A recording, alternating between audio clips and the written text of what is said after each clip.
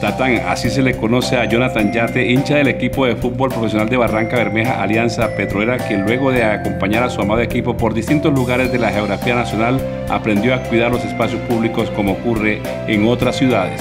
La idea nace de la necesidad de los barranqueños, esa necesidad de querer sus espacios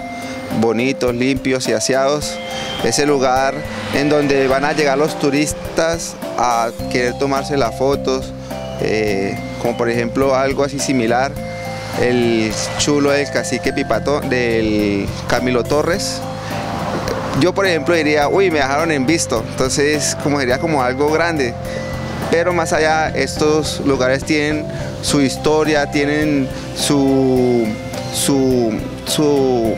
su emblema hacia la ciudad, porque cada esquina de Barranca Bermeja tiene una historia que contar. Junto a un grupo de jóvenes que ha ido creciendo con el pasar de los días, Tatán ha logrado darle otra cara, por ejemplo, al monumento del cacique Pipatón, obra del desaparecido maestro Héctor Lombana Piñeres.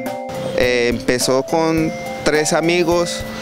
con Andrés Urán, el de zona 36, quien se acercó a los comerciantes de el cacique Pipatón alrededor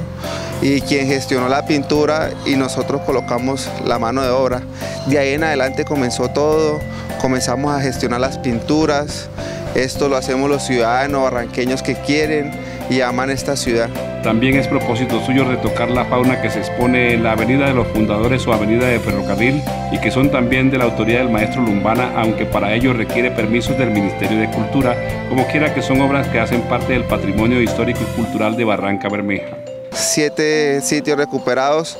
eh, las iguanas, el monumento de las iguanas, el monumento de la tortuga, el monumento del chigüiro,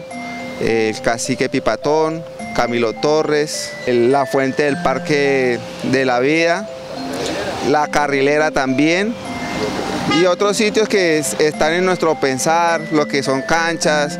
también si se da la oportunidad de escuelas eh, rurales,